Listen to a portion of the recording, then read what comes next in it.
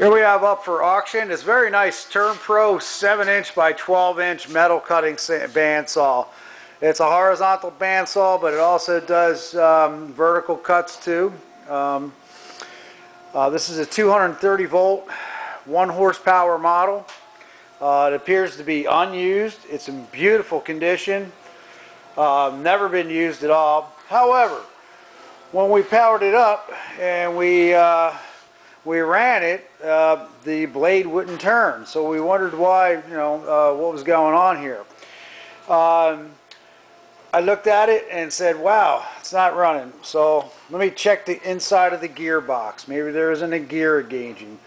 Well, to our surprise, there's a whole set of gears missing out of this.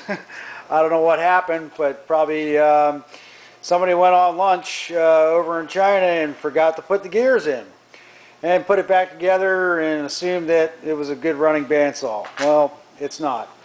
So in any case, uh, what we here have here is a set of missing gears. Now, we have it powered up so you can watch it run. The motor runs really good. As you can see, the gears turn. It includes the brass gears and the worm gear, but this third set, there's nothing there, so you can engage the bandsaw blade. Okay? We checked the.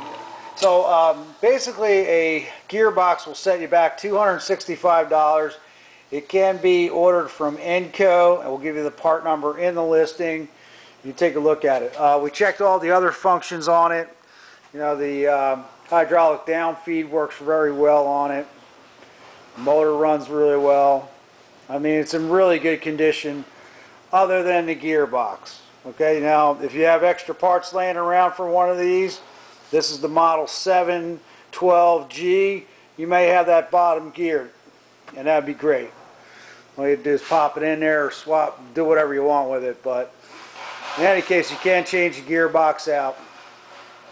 Um, we checked everything else on here. It looks good. The coolant pump works fine. Um, this will ship LTL on a truck. And we thank you for looking at our product.